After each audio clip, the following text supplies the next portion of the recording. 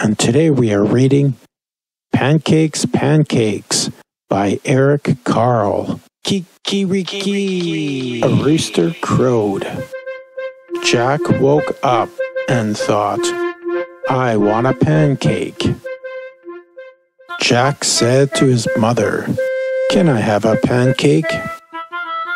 You can help me make it, said his mother. First, we need some flour. Cut some wheat, please. Then take it to the mill to grind into flour. So Jack cut the wheat.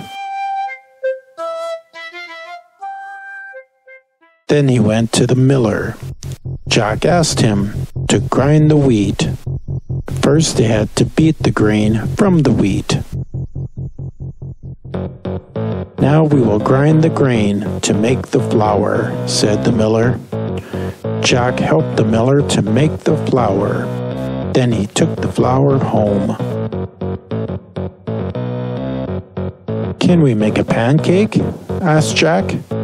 Now we need an egg, said his mother.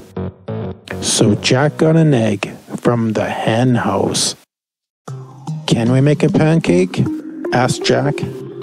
Now we need some milk, said his mother.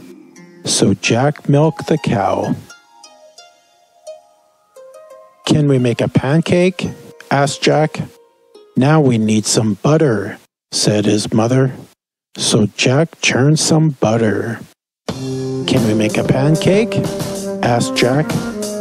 Now we need to make a fire, said his mother. So Jack got some firewood.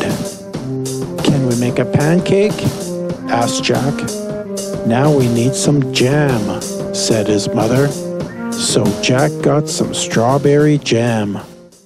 Can we make a pancake? asked Jack. Yes, said his mother. So Jack and his mother mixed everything in a bowl. They put some butter in a hot pan. Jack, now put some batter in the pan, said Jack's mother. Jack's mother cooked the pancake. Then she flipped it.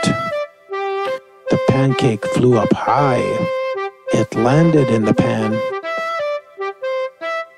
Jack's mother put the pancake on a plate and gave it to Jack. Jack said, Mama, I know what to do now.